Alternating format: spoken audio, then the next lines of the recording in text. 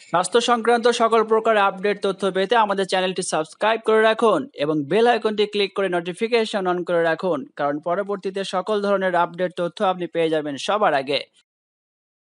খইয়া বাবলা হচ্ছে ফ্যাবাসেই পরিবারের পিথেসেলোবিয়াম গণের একটি গাছ। এ গাছের দেহ সুন্দর পেঁচানো।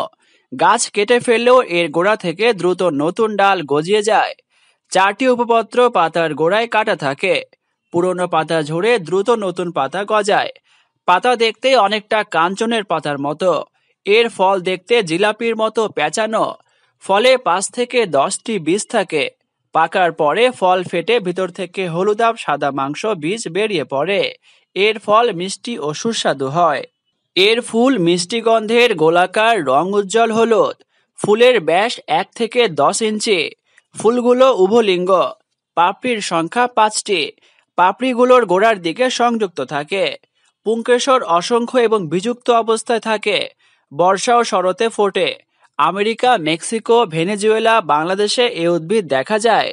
তো বন্ধুরা, চলুন জেনে নেই খইয়া বাবলা গাছের ভেষজ গুণাগুণ।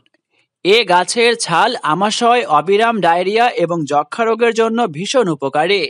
পাঁচ থেকে সাত গ্রাম পাতা তিন কাপ জলে সিদ্ধ করে এক কাপ থাকতে নামিয়ে ছেঁকে নিয়ে সেই জলে ক্ষত ধুলে ওটা সেরে যায়। এমনকি ক্ষতে পচনক্রিয়া আসতে দেয় না।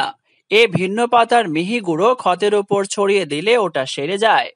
এর বীজ আলসারে আরাম দেয়। মুচকে গেলে ফোলা বা ব্যথা দুই আছে, অথবা ফোলা আছে, ব্যথা নেই।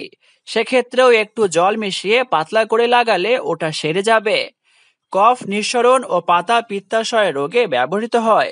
কানের গোড়া ফোলা তার সঙ্গে জ্বর, সেক্ষেত্রে পাতা দশ থেকে বারো গ্রাম, ভাজা বালি বিশ থেকে পঁচিশ গ্রাম, ক্ষয়ের দুই থেকে তিন গ্রাম, একসঙ্গে বেটে গরম করে দুই থেকে তিনবার প্রলেপ দিতে হবে।